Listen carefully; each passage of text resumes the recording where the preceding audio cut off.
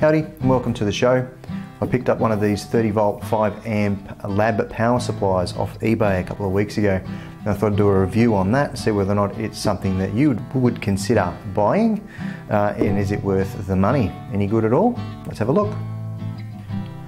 Okay, so first things first, physical dimensions. Um, they are quite compact, this particular model, and there are two main flavours. There's this skinny version with a single display, and then you probably would have seen a double wide version um, with an extra cutout over here and two displays, one showing the amperage and one showing the voltage. So this is the uh, slightly smaller version, rated at 150 watts, uh, and that pretty much works out right considering it's supposed to be uh, 30 volts at 5 amps. So physical dimensions first. So they're quite a compact little unit. This one's measuring uh, 200 millimeters long. It is 155 millimeters tall and the overall width is 80 millimeters. So just going around the actual device on the front, uh, so as you can probably see, on the front display here.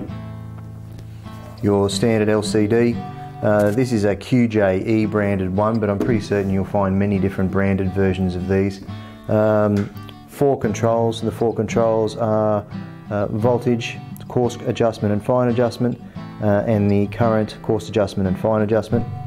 I did actually find these to be round the wrong way, uh, not the coarse and the fine, but I would have preferred my voltage down one side and my amperage down the other side rather than going across this way for the voltage adjustment and across that way for the current adjustment, but that's just personal preference. Okay, so two binding posts at the front, there, so they're the banana plug variety going in, as well as a screw terminal. And simply power switch there.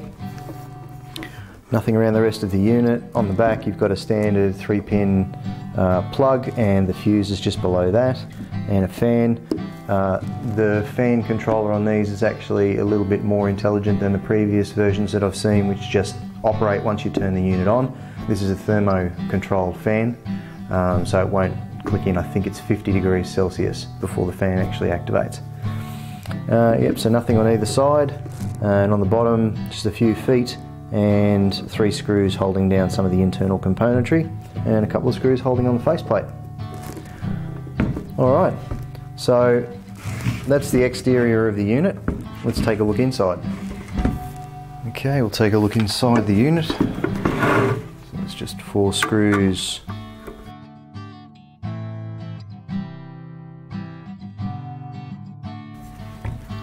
So the lid just lifts off like that uh, and this actually forms part of the, the chassis strength.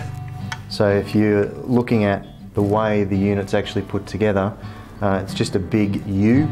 Um, this has no bridging across the top, so there is a little bit of flex in the unit. You can probably see that there.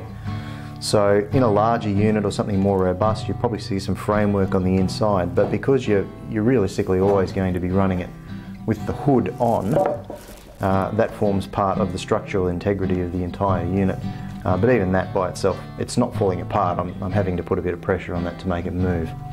So on the inside of this little unit, okay, a couple of transformers, um, a fair few passive components, uh, some very large caps, um, and there's a particular feature of those caps that I'll, I'll demonstrate uh, a little later.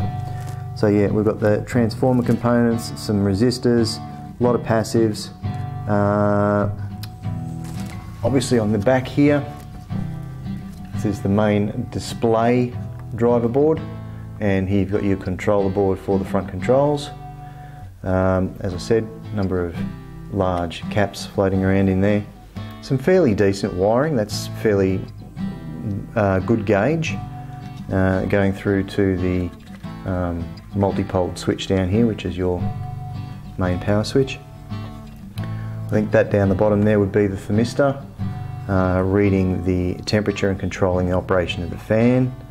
Um, and buried in the back there between the controlling board and this very large aluminium heatsink, uh, your power regulator. and another one down there. So yeah, fairly uh, simple design, old through hole components, uh, except for uh, this board here. Not quite sure what that one's doing, but that is a removable board. Uh, and on the round through the back, very large aluminium heatsink, just one dirty great slab of aluminium, probably around about four to five mil thick, and that is attached through to those two regulators dissipating the heat. Uh, I've had this running at 5 amps, um, putting out uh, wasn't quite 30 volts, but it was definitely the entire amperage being drawn. Fan did activate, but this only got warm. So it's quite capable of continually running 30 volts at 5 amps from what I've been able to determine so far. Not too happy with that. You've got one of the capacitor, you just see that in there, this particular capacitor which is running off the two binding, uh, bridging the two binding posts, um, coming from, can't quite tell which terminal it is, but it is coming from this capacitor, and you see a grounding wire just hitting the frame down there. Um, although it's probably doing the job, uh, that does not look very pretty at all um, but I've not been able to pick up any problems with this unit running thus far. Uh, the rest of it on the inside in there actually looks fairly good. There isn't really anything too concerning. Uh, it's it's um, grounded out properly down here, uh, although some of the soldering might leave a little bit to be desired. Uh, but ultimately, it does do the job. Nothing compared to a much more expensive um, professional level lab supply but for $68, $70. not too bad All right, let's turn it on and uh, see how it actually does its job alright so it's just got the unit uh, turned on uh, nothing connected at this stage um, so operationally it's not too bad. These knobs are fairly good, uh, decent amount of resistance to them. So it's supposed to run at 30 volts and that's wound all the way up. So we're reading 26.4 and on the fine adjustment, wind that all the way up and we're getting 31.5 volts. So the current, uh, the current works uh, as a limiting. This is a current limiting power supply. It's not a current setting power supply. So you can't say I want 2 amps to go into my um, product or device, um, you can simply say I want no more than 5 amps, no more than 2.5 and so on, uh, depending on where you have the settings. So we're in uh, current mode here and you can uh, adjust your current. So obviously wound all the way out, you're talking 5 amps, uh, halfway. You're roughly talking two and a half amps and all the way down you're talking zero amps. Um, so we'll leave it roughly halfway about two and a half. So yep you can definitely get 30 volts out. There is no warmth to the unit at this point and we've got nothing running from it. One interesting thing to note something I mentioned before about the capacitor. I turn the device actually off and you notice that the display went off in around about a second. I'll turn it back on and I'll change the voltage. Uh, not touching the amps I'll change the voltage down to oh, we'll go with 12 volts. Now we'll go with 15 okay so 15 volts. That is half of the potential 30 volts that the, uh, the unit is capable of, of uh, delivering. Turn the power off. There's your one second. There's your two seconds. So that is definitely the capacitor inside there doing that. Depending on what the amperage and the voltage is that you've got set, uh, the capacitor ta takes a different amount of time to discharge. So just leaving the unit on, it does come with two leads, banana plug one end and alligator on the other, and they're not too bad. So anyway, let's get this unit up and running and uh, power a couple of DC motors. What I've got hooked up here is a fairly uh, large 12 volt DC motor. Just connect one of those, power up the unit. Now we'll dial this back down to 12 volts. There we go. Uh, one other interesting thing to note, even though this particular voltage range is 0 through to 30 volts, the fine adjustment is a percentage of where you're at. So if you're only dialing up 10 volts, you'll have around about a 2 volt uh, adjustment. If you're up around 20 volts, you'll have around about a 4 volt fine adjustment. If you're up around 30 volts, you'll have around about a uh, 6 volt fine adjustment, give or take. So it is a percentage of the uh, position of the coarse adjustment as de uh, depends on what you get out of the fine adjustment. Okay, so 12 volts and I've roughly, by eye, got the uh, current limited to about 1 amp. And as you can possibly hear, you can see 0.8 of an amp draw. It's only just spinning up. It's quite a fast RPM motor this one. So if I up the amperage,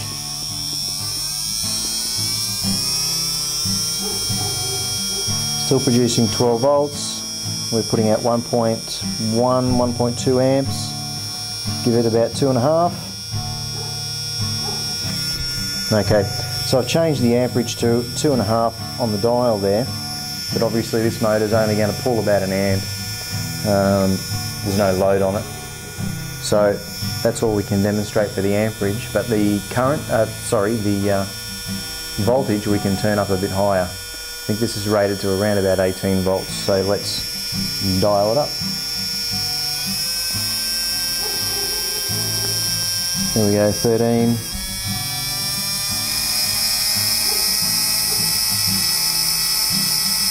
16 volts.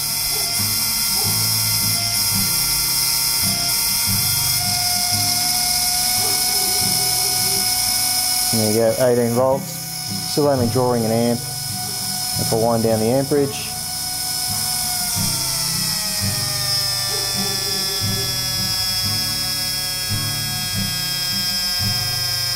still only giving it 9.9. Dial it up slightly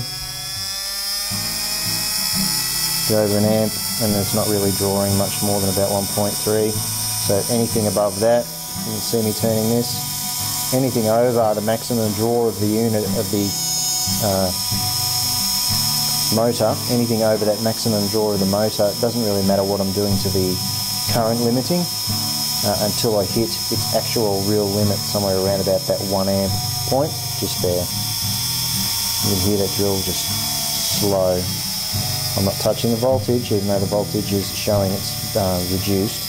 This is because I'm limiting the current going through.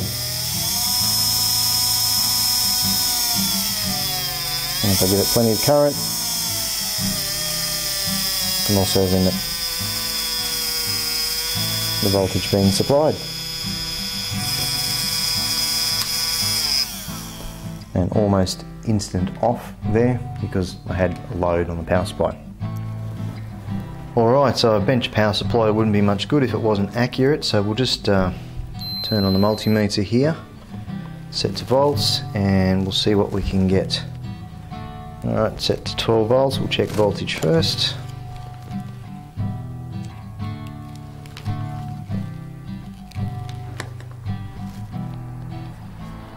Alright, so 11.91 volts reading on multimeter.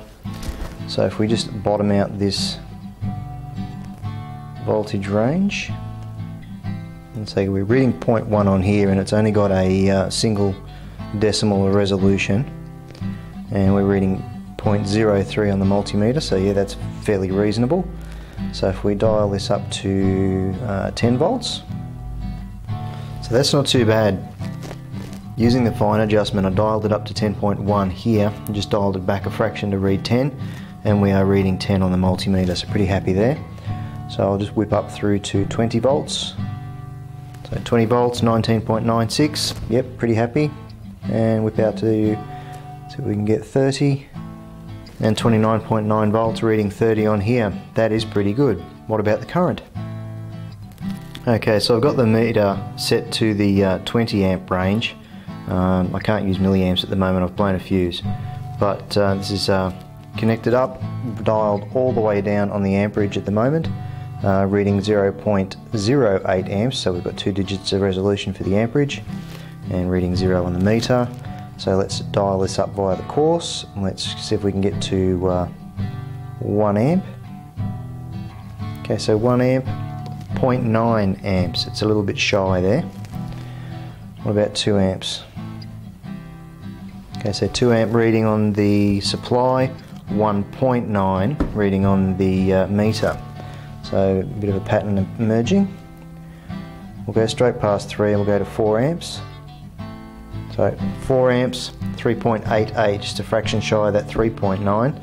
So again, just that little bit out, but consistently out. And we'll just dial straight to the top, 5.05 amp reading. And I've still got the fine adjustment as well.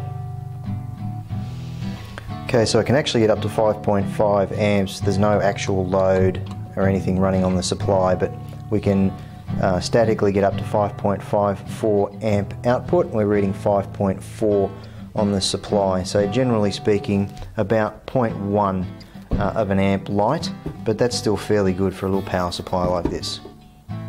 Okay, so just to wrap up, um, 68 $70 little bench power supply, current limiting, but 30 volts at 5 amps. And uh, are they worth it? I would say they are. They're fairly lightweight, it's around about one and a half kilo. Uh, they don't take up much bench space at all, and they do give you a nice fine adjustable uh, voltage range with a 5 amp um, current limit. So, yep, if you haven't got one of, uh, one of those for yourself just yet, uh, for that amount of money, I would say they're well worth a buy. So thanks very much for joining me and watching the show. Subscribers are always welcome, so feel free to subscribe, that would be great. And I hope you'll join me again next week.